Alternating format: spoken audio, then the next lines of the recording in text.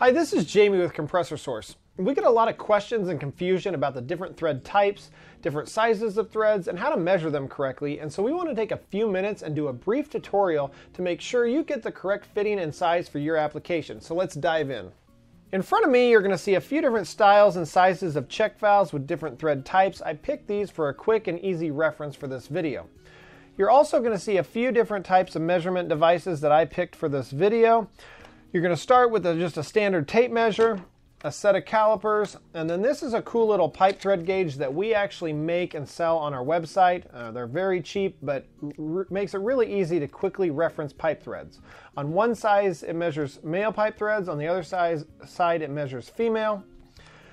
But in front of me, on the left-hand side here, we're going to start with a female by male NPT check valve. So this is a 3 quarter inch female NPT check valve by 3 quarter inch male NPT check valve. A lot of people just have a tape measure at home, so they're going to take a tape measure, they're going to hold it up to the side of the threads, and they're going to measure it, which in this case, 3 quarter inch NPT measures an inch in diameter. So they hop on our website, they order an inch uh, check valve, they get it, and it's way too big. And so that's what we're trying to pre prevent. So a standard reference is anytime you measure pipe thread sizes, it's going to usually be about a quarter of an inch bigger than the actual thread size. So quarter inch is going to uh, measure half inch, half inch is going to measure three quarter inch in diameter, and three quarter inch is going to measure inch in diameter, and so on. So that kind of covers the actual pipe thread size. You can also do it with a caliper, um, whatever you have. Um, the correct way of doing it is with a pipe thread gauge, but a lot of people don't have that because they're not doing it every day. So these are easy around the house tools that you'll be able to use. This is a compression thread by pipe thread. We've already covered the pipe thread. Um, if you measure the diameter of this, which this is three quarter, it's going to measure inch. Um, but you got to take a quarter of, a, quarter of an inch off of your actual diameter measurement. The compression thread, however, is completely different. This is actually three quarter inch compression, which you can see has a different thread uh, pitch.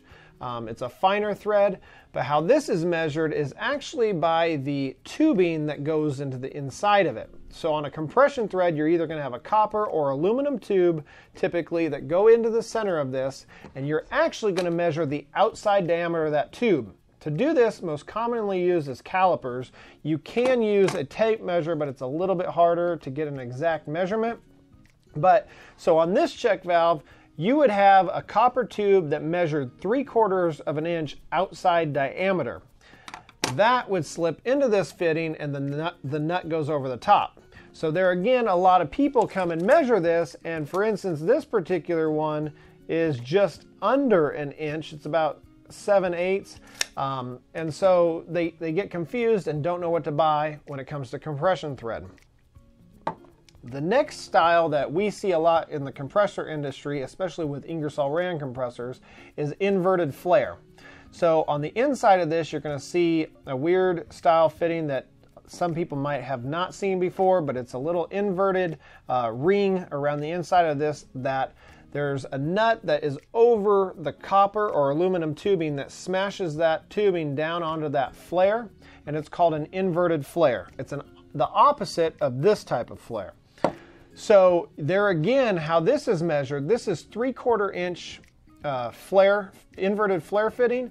You're gonna measure the outside diameter of the copper tube to get that inverted flare measurement. So that tube should measure 3 quarters inch outside diameter, which then will have the fitting that goes over it that screws into this because this actually measures just over an inch in diameter. Another type is an actual flare fitting. It's going to look just like this, but this is a 3 quarter inch flare. There again, you're going to measure the outside diameter of the tubing. The only kicker to this fitting is, is you can also use a JIC fitting, which is a little bit more in-depth on measuring, but typically a JIC fitting is found on an actual hose, whether it's a rubber hose or a stainless steel braided hose, um, but those can screw onto this as well. That kind of go covers all the different thread sizes, the more common ones. I know I could go a lot more in depth. Um, I could show uh, an actual pipe thread gauge, but if you're watching this video, more than likely you don't have a pipe thread gauge. So we just kind of wanted to give a quick reference um, with easy around the house measurement tools and kind of give you an idea of what to look for to make sure you get the correct part. I hope you enjoyed watching this video and I hope it answered some questions that you may have had to make sure that you get the correct fitting. Thank you for watching and hope to see you next time.